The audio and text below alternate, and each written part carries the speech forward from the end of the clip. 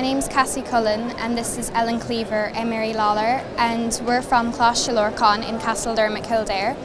and our project is about the, the ability of different indigestion tablets and natural remedies to neutralise heartburn. My nana had heartburn and she, um, we were at her house and she wanted heartburn tablets and my mum gave her heartburn tablets but she refused them because she said they didn't work for her and then I realised that there's loads of different brands and some work for some people and not for other people. First we went on Google and we researched different brands and the feedback and then we like start we um, went into the chemist and we done a bit of research there. And we done a bit of research on natural remedies as well and old wives' tales. We found out that, that Nexium was the best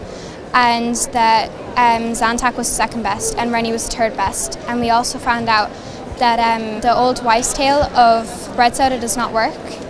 and Nexium only about two weeks ago you had to get prescription for it, but now you don't have to, and it's also really easy on the stomach. I'd love to find out more of natural remedies because even though um, heartburn tablets fix one thing, they might cause another thing, so it'd be nice to find out more of natural remedies.